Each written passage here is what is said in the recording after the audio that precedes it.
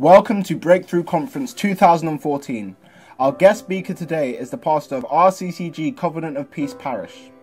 He is an ordained pastor in the Redeemed Christian Church of God, a zonal pastor, provincial evangelist, and the set man for the largest weekly evangelical prayer meeting that holds every Thursday morning in Ikorodu, Lagos, Nigeria.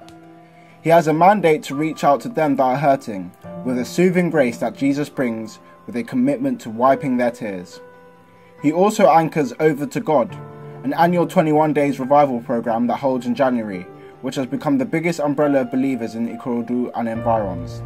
He is an avid reader and has himself authored a number of books. His ministration is incomplete without singing praises to the one who is worthy of praise. He holds a postgraduate diploma of the Redeemed Christian Bible College, as well as a diploma of the School of Disciples and a degree in history. He is married to Sister Oluyemi Aromolaran, and they are blessed with children. Ladies and gentlemen, please rise and give a Victory House welcome to Pastor Olaitan Aromolaran